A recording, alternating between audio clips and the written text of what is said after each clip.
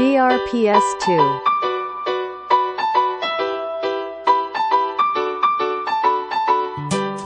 Ikaw ba ay nahihirapan dumumi araw-araw? Palaging bloated ang tiyan, acidic, sobrang timbang, lumalaki ang tiyan, irregular menstruation, high blood, diabetic, high cholesterol at may almoranas? Andito na ang DRPS2. solusyon sa ating problema.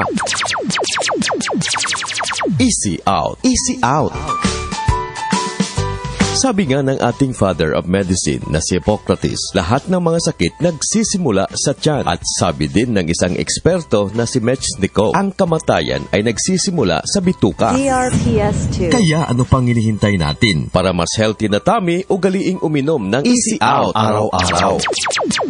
Huwag nang hintayin na magkasakit pa. Kung mabisang colon cleanser ang hanap mo, try mo ang Easy Out Colon Cleansing and Kidney Detox. Ito ay 100% subok na ng marami. DRPS2. Bata man o matanda, ang Easy Out mabibili na sa inyong suking butika.